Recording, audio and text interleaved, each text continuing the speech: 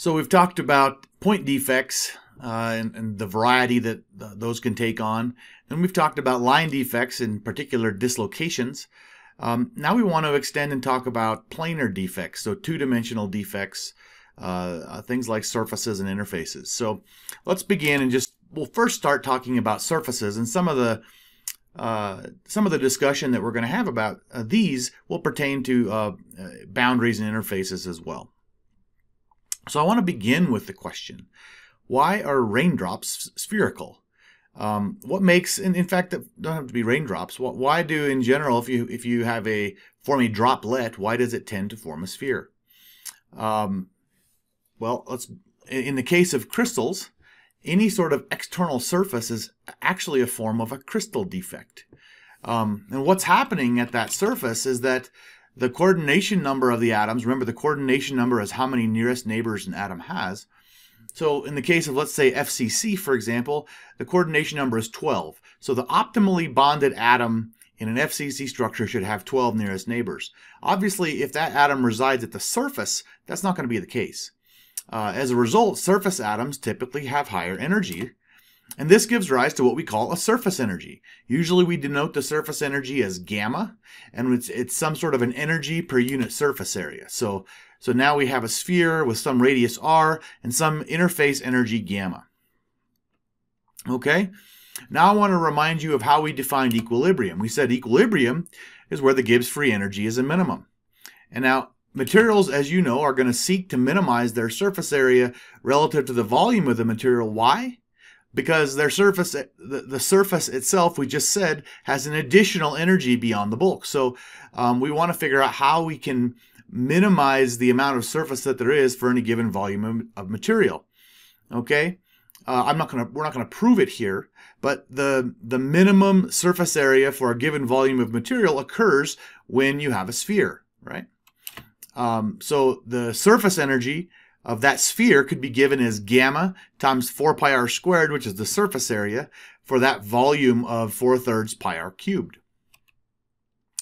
Okay, something else uh, is also relevant here, and that is that because materials seek to minimize their surface area, just the, for the same reason that they formed a droplet, right? They wanted to minimize their surface area per unit volume.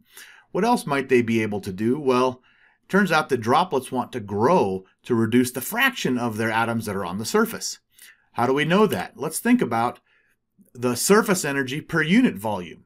So this is just now taking uh, the the surface energy of the of the droplet, dividing it by the volume, and you can see that we end up with this term 3 gamma over r. So if I want to reduce this quantity, I need to make r larger. That's the driving force for the growth. Okay? So that's our uh, really our discussion on external surfaces. Coordination number is less than in bulk, which drives the energy up. Now that means that it's a it's a high energy uh, region, which we'd like to minimize thermodynamically. Okay? Let's move on to talk about interfaces and boundaries. So you can think of an interface, a material interface, as a subset of an external surface, right? An external surface uh, is in contact with vacuum or air. A material interface is just is is uh, the material touching another type of material. So an example in this case would be, let's say, a metal matrix composite. All right. So uh, what I'm showing you here is just a, uh, looks like an SEM image. This is your 100 micron scale bar. This is a silicon carbide fiber uh, embedded in a titanium alloy matrix. This is this is um, an just an example of uh, obviously material interfaces, right? As, as you expect, those interfaces are higher energy than either the uh, than either the the bulk of either material, rather. Okay, related to this material interface, there's also something called a phase boundary. And the phase boundary is the separation of two different phases of the same material. So let me give you an example. One type of steel microstructure that we're going to talk about in this class uh, in a few weeks is called pearlite. Um, and pearlite is comprised of alternating layers of alpha ferrite and iron, car, uh, iron carbide or cementite. So what, what you should know, this is the structure, and you can see these grains right here, right? But you can also see that within each grain, there's this sort of layered structure with alternating light and dark regions. The light region is alpha ferrite. Okay, that is iron with carbon. Okay, the dark region is cementite. It's also iron with carbon.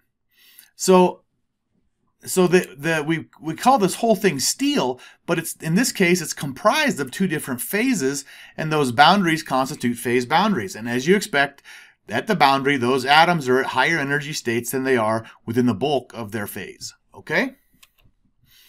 Let's let's move on and talk about grain boundaries.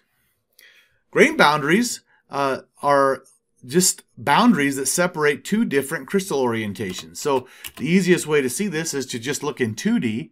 So here's our here's our crystal structures. And you can see that there's this let's just pick this line for example, this line of atoms. And and it clearly doesn't continue past this boundary. So if we were to draw that line and we'll do the same thing here, right? You can see that that that um, that lattice or that uh, crystal structure does not proceed past that boundary, right? So, so this represents the boundary between them. As you can see, these atoms on the boundary aren't optimally bonded, right? So it's also going to be a higher, a higher energy state. In fact, then we look at where the this row of atoms exists now in the new grain, and you can I'm highlighting that with this green line, so you can just kind of get a sense for how far off the orientations are. And so grain boundaries are typically characterized by their angle of misalignment. Okay, so there's uh, the measure of the angle. If you have something like this top one where it's a large angle, typically we call these greater than 10 degrees. It's going to be called a high angle grain boundary. If we have something that's less than 10 degrees, we're going to usually call that a low angle grain boundary. Those aren't hard numbers, those are just rough numbers, okay? Sometimes people will change that definition a little bit. Usually we are going to divide the low angle boundaries into uh, by the character of the boundary. So we often will call a, a tilt boundary one that's characterized by an array of edge dislocations and a twist boundary by an array of screw dislocations. I know we didn't spend uh, time talking too much about the difference between edge and screw dislocations. Don't panic. I'm not going to hold you accountable for that uh, for this class. But let's look at an example here. So uh, let's suppose this, this uh, square um, array is our lattice structure. And here's our dislocations. There's three in this case. And you can see that there there is a if this is the line of one crystal and this is the line of another there's a slight angle change between them for this low angle boundary right? And the if if I were to stack up this is these are edge dislocations. If I were to stack up an array of them like this uh, it's going to move the crystal rotate it slightly okay? So uh, this let's call this distance of, the, of one square, that's a Burgers vector shift. And this the distance between them vertically is going to be the spacing. And we can show that the angle of that boundary is, is approximately related to the Burgers vector divided by that spacing. Okay? Uh, so as the spacing uh, um, increases, the angle gets smaller as expected. Okay, so that's that's pretty much all you need to know about grain boundaries. Remember that they're high energy or higher than the bulk. Um, and uh, um, again, I'm going to summarize uh, sort of features of all of these uh, planar defects uh, at the very end of this lecture. Uh, right now, I'm just trying to cover um, the types that we encounter in in uh, crystal structures. Okay, another type, this is a, really a subset of what we just talked about, but we have what's called a twin boundary. And a twin boundary is, is this special subset of grain boundaries, and, and it's it's the case where the atomic structure on one side is this the mirror image of the other, which is what I'm showing you in this picture, right? So it looks like if this dashed line, which is our what's called our twin boundary, if we if it was a mirror, it would that's exactly what we would see from the other side, okay? The other thing that you should note about this boundary is that it doesn't look like the atoms are in disorder here, right? So, in fact, usually the twin boundaries are called coherent, right? And that means that the atoms on the boundary actually reside properly in their lattice structure, and those lattice structures just happen to match up along the boundary, right? Twin boundaries result when stack the stacking sequence of the planes is reversed. So let me give you an example in FCC. If we have an untwinned FCC material, then the stacking sequence is ABC, ABC, ABC, ABC, right? Where A, B, and C are the different uh, plane locations, uh, you know, refer back to that uh, when we talked about the FCC crystal. If we twin that, it goes ABC, ABC, right? And then, right, as you can see, B could be connected to A or C. In this case, so we go from ABC, ABC. The next one normally would be an A, but it could be a B. So we connect it to the B and then we, we reverse the order. So now it's BAC, BAC, which is what you actually see up here. Okay? In the EBSD, uh, that's electron backscatter diffraction, uh, twins appear as straight lines running across the grain, just like this. Right? So you can see these very straight lines kind of going across. Here's some more up here. Those are examples of twin boundaries. Okay? One more type of defect that's related to a twin boundary but it's distinct from is called a stacking fault. And all a stacking fault is, it's a single defect in the sequence of stacking. So I'm showing you this here again for the FCC. We go A, B, C, A, B, and then instead of C, we go back to A, but the crystal still repeats. So it's not a mirror image, but at this sort of uh, pipe, that's the stacking fault, right? And it has a higher energy than, than if it were in the, the stacking sequence that it wanted. I'll also say that twins in general are going to be higher energy than the bulk. Even though they reside in a lattice location, they don't have the preferred stacking sequence. However, twins are going to be lower energy than, like, for example, your high angle grain boundaries, for example, because they're closer to where they should be. Okay? So now let's talk about what's the effect of all of these planar defects. Why do we care about them? How are we going to use them as we as we talk about manufacturing of, uh, let's say, steel or aluminum alloys? Okay. So the first is that all 2D boundaries contain atoms that aren't optimally bonded. That's what that's why they're a boundary. And those energies of those boundaries are going to be higher than in the bulk material. So there's always a driving force to reduce that uh, when possible. Okay uh, one thing that we'll talk about, uh, and you probably have noticed just in your own uh, experience, anything that has higher energy is going to lead to greater reactivity.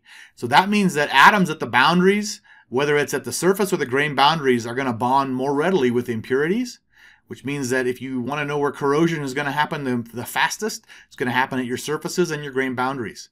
Um, it's also going to allow higher rates of diffusion, which is why if you remember back to uh, our earlier lectures where I talked about uh, uh, trying to make single crystal gas turbine engine blades. Um, the reason we do that is because uh, diffusion is a problem at high temperatures and high loads uh, in terms of allowing for creeping or the long-term deformation of this material. And if grain boundaries, for example, permit that deformation to happen uh, more quickly, it's it's uh, beneficial to reduce the number or eliminate grain boundaries, which is why we use single crystals. Okay. This is important here. All 2D boundaries are going to increase the resistance to dislocation motion. So that means you should see an increase in yield strength, right? If you uh, increase the increase the density, the number of boundaries per unit volume, you should see an increase in your strength. Okay, um, uh, this this is this is something that we're gonna we're gonna talk extensively about, and it's going to govern a lot of the heat treatment in our materials, right? So if I have a grain that is, if I, if I have 10 grains that are um, uh, one micron across versus one grain that's 10 microns across, I have a lot more dislocation barriers in the smaller grain material uh, because because the dislocation has to has to penetrate or is blocked by all of those. So we're going to use 2D boundaries as a way to increase strength in our metals. Okay. Um, the other the other thing I want to say is that, and I think I mentioned this with respect to the, the sort of the raindrop problem. In the case of metals at sufficiently high temperatures, and we'll have to define what sufficiently high means later, grains are going to grow uh, in response. Why? To the driving force to reduce their grain boundary energy. Right. For any given volume of material, the larger we make, um, in this case, uh, we already showed that the larger the volume is, uh, the the less percent of surface atoms there are, so it's a lower energy per unit volume. So if you have 50 grains in a material, for example, and you want to reduce the energy of that system, it would be better to have that as an entire single grain, right? Big, larger single grain, obviously 50 times as large as the, the, the other grains. Um, and that that's a driving force that we'll use uh, sometimes to um, uh, in, in, in the course of our heat treatment of, of metals. Okay, so just keep that in mind. I don't want to give a whole lecture on 3D volume defects because um, frequently they're they're um, difficult to to distinguish from just um, maybe macroscopic defects, so they don't maybe properly belong in the crystal defect section. But uh, they can be considered crystal defects. I'm just showing you a picture here of some types of defects. So you could have pores. So this, what you're looking at here is a is a CMC, a ceramic matrix composite. It's it's called a SiC-SiC composite. It's silicon carbide fibers surrounded by a boron nitride coating with a silicon nitride matrix. Okay. Uh, and so here you can see a pore. Uh, here's some cracking where some debonding has happened. That appears as a volume defect. So cracks are another option. And then you could just have inclusions, sort of like we had uh, in this oxide region around the pore here. Okay. So the reason we're not going to spend too much time talking about these properly is because it's a little bit ambiguous as to whether it's really a defect or it's going to be considered as sort of a composite of two materials or if we have a material and a void. So the scale of the analysis here really matters. If I was modeling this particular material in this slide uh, at the microstructure level, then I'm going to model the voids individually. If I'm going to model it at a macroscopic level and smear everything together, I might want to figure out a, a, different representation for the material that, that sort of includes the voids without explicitly modeling the voids. Um, but that's pretty much all that you need to know in this class, at least, about uh, defects in crystals and crystal structures. And what we want to talk about next is um, is diffusion, and then we're going to combine this idea of diffusion and defects and talk about how to uh, we can we can actually control the properties of metals.